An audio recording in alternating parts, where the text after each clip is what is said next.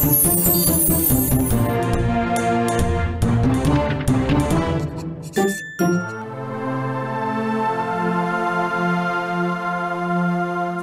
vais vous raconter l'histoire de Chien fou dans la brousse, écrit par Marie Scondé. Il était une fois un homme nommé Tiefolo. C'était le chef de son village.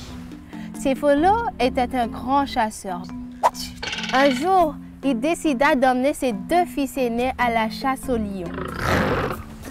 Il préférait rester avec les mère, écouter des contes? Naba et Malobali n'aimaient pas chasser. Moi, j'aime bien ça chasser. Moi, j'aime bien ça chasser. Ils avaient peur des lions. Ah, mon Dieu, lion ah!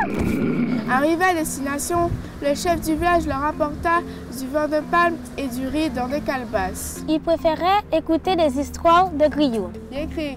Yécra. La nuit tombée, sans l'accord de leur père, Naba et Malobali partirent pour aller écouter l'histoire. Naba, Naba, réveille-toi. On va voir le griot. Papa dort. On va revenir après. Tu viens? En chemin, ils se font agresser par les Touaregs. Mon Dieu, quel malheur!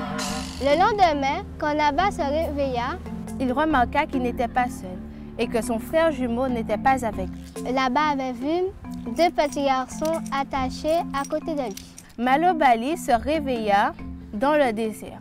Car on croyait que garder des jumeaux, des jumeaux ensemble, c'était une malédiction. Malobali, n'acceptant pas l'idée de devenir esclave, il, se, il prit une décision qui changea complètement son avenir. J'ai bien aimé l'histoire. Je vous conseille aussi de lire Chien fou dans la brousse de Marie Scondé.